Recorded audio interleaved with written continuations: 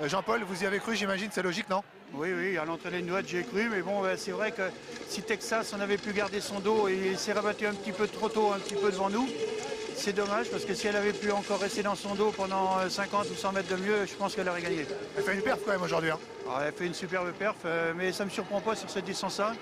Mais c'est une très très bonne jument qui, qui vient gentiment et à mon avis elle progresse encore un petit peu là et devrait être bien pour le prix de Belgique.